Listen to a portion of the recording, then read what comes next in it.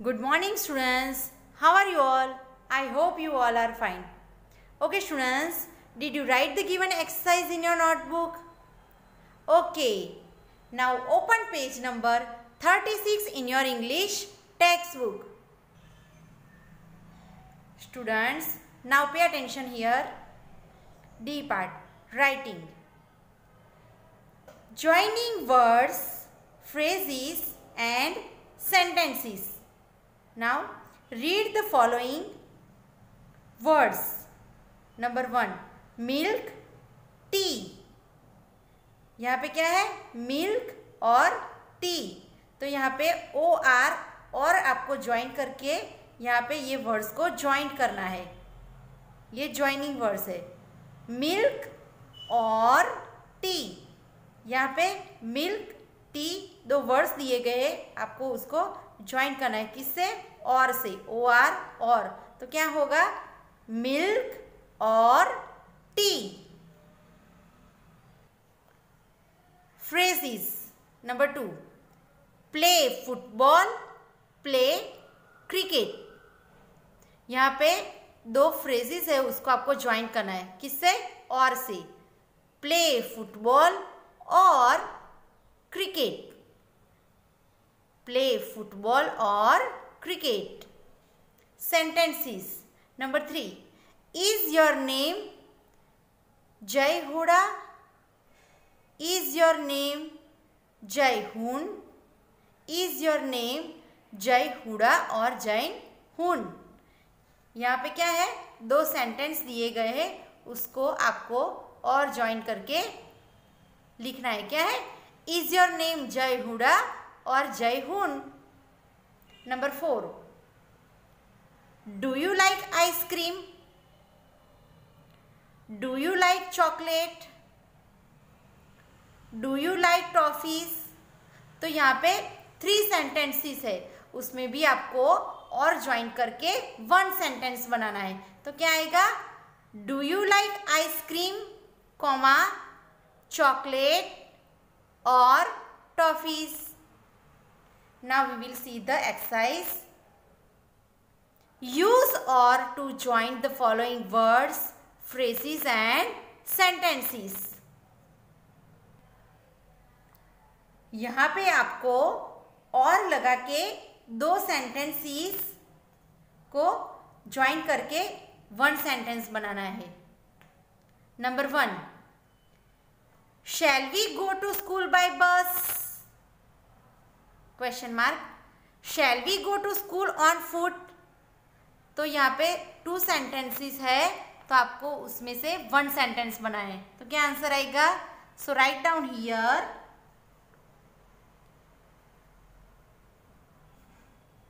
shall we go to school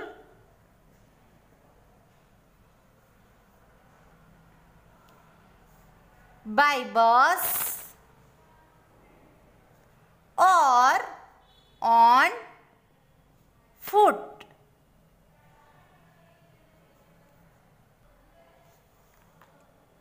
And question mark.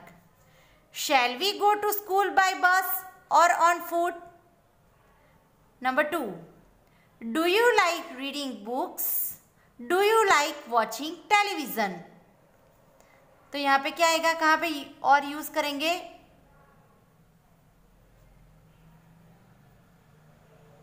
Do you like यहाँ पे जो दो सेंटेंस में सेंटेंसेस है उसमें से ये कॉमन ही है do you like reading books और watching television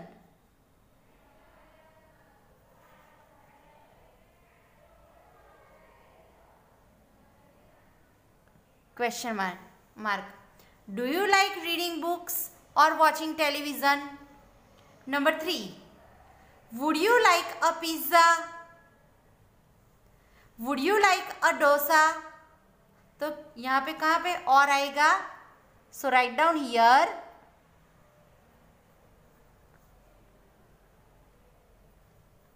would you like यहां पे दो सेंटेंस में ही ये सेम ही आएगा would you like a pizza और a dosa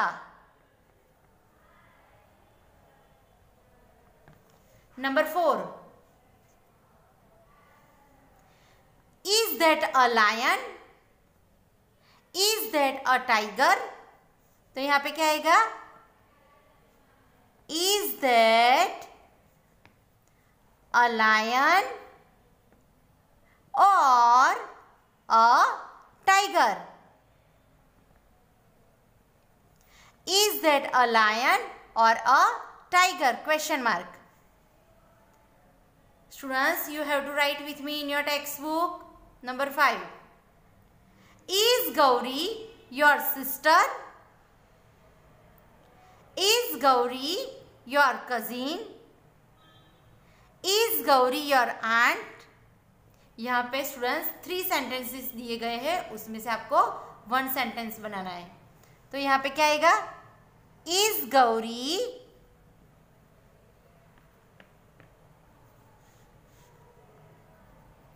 your sister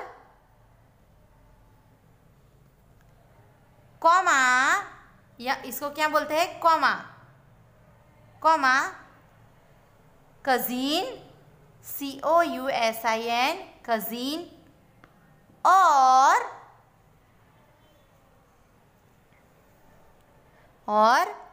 aunt, question mark.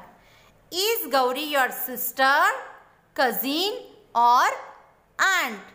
Now students, turn your page. Now we will see the E part. listening and speaking sound and spelling e d और e यहाँ पे आपको sound करना है और spell करना है जी ई e और डी जी ई लगा के लगाना है now read the given words students you have to read this words after me H A N G E, change. C A G E, cage. D A N G E R, danger. B A D G E, badge. K N O W L E D G E knowledge number one If a word has a long vowel near the end of the word add ge. जिस शब्द के and में long vowel आता है उसमें हमें क्या add करना है G E number two if a word has a short vowel near the end of third word add D G E जिस शब्द के एंड में उसके नज़दीक में शॉर्ट वॉवेल आता है उसमें हमें क्या ऐड करना होता है D G E now we will see the exercise E students you have to write down with me exercise in your text book write words ending in G E और D G E which rhyme with the words given within brackets students यहाँ पे हमें words लिखने हैं जिसके ending में GE e और डीजीई e होता है जो राइम करता है यहाँ पे ब्रैकेट्स में जो वर्ड्स दिए गए उसका हमें राइमिंग वर्ड लिखना है number one there is a blank over the river brackets में क्या है R I D E G E R I D G E ridge तो उसका राइमिंग वर्ड उस क्या होगा रीच का bridge So write down in the blank bridge. B R I D G E. उसे मिलता जुलता हुआ वर्ड कौन सा है ब्रिज ब्रिज से मिलता जुलता हुआ word bridge there is a bridge over the river number two the soldier showed great blank in the battle brackets में क्या है M A N A G E manage manage से मिलता जुलता हुआ वर्ड कौन सा है करेज सोल्जर्स है वो बैटल में क्या दिखाते हैं करेज सो मैनेज का राइमिंग वर्ड क्या आएगा courage C O U R A G E courage the soldier showed great courage in the battle number three the little bear ate up all the blank in his bowl K N O W L E D G E knowledge knowledge का मिलता जुलता हुआ word कौन सा है rhyming words क्या आएगा porridge so write down in the blank P O double R I D G E porridge the little bear ate up all the porridge in his bowl number four The children danced and sang on the plank. E, P-A-G-E, page. Page का rhyming word कौन सा होगा stage बच्चे किस पे dance करते हैं stage पे तो क्या आएगा पेज का rhyming word stage the children dance and sing on the stage students now we will see the F activity. Here one activity is given. How will you react to the following situations? Take the correct answer. Number 1. Your father compliments you for performing well in a school drama. He buys chocolates for you.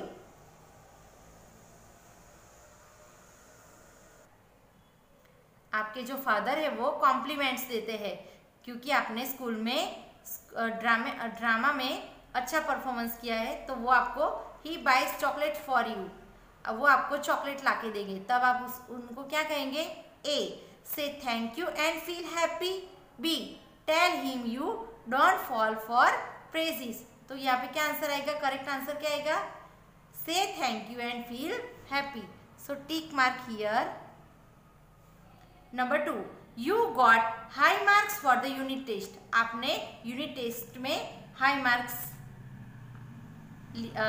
आए हैं your teacher comes and tells you well done keep it up और आपकी teacher आएगी और आपको क्या बोलती है well done keep it up तो आप क्या कहेंगे A say right I can do great things B say thank you आप टीचर को क्या बोलोगे thank you so tick mark here Here we complete our today's exercise. Now your homework is write exercise D and exercise E of page number 37 and 38 in your English notebook. Thank you. Have a nice day.